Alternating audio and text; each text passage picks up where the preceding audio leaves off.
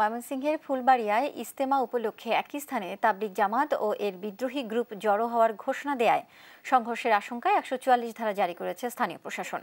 Police জানিয়েছে, উপজেলার ফুলবাড়িয়া ময়মনসিংহ সড়কে চক রাধাকানাই স্ট্রিট ইস্তেমা মাঠে একুশ, বাইশ ও তেইশ ডিসেম্বর ইস্তেমা ঘোষণা দেয় বাংলাদেশ আহলে হাদিস তাবলিকে ইসলাম।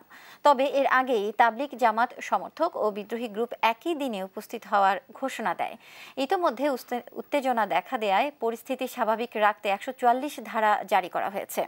পুলিশ আরও জানিয়েছে, কেন্দ্রীয় অনুমতি ছাড়াই চক রাধাকানাই মার্কাজের উদ্যোগে বাংলাদেশ আহলে হাদিস তাবলিকে জামাতের ইসলামের ব্যানারে তিন দিন ব্যাপী আঞ্চলিক ইস্তেমার আহ্বান করে স্থানীয় তাবলিক জামাতের বিদ্রোহীরা। আবার মার্কাজ আওতাভুক্ত পঞ্চাশটি মসজিদের তাবলিক কর্মীরা কেন্দ্রীয় আমিরের অনুমতি নিয়ে একই দিনে একই জায়গায় ইস্তেমার ডাক দেন।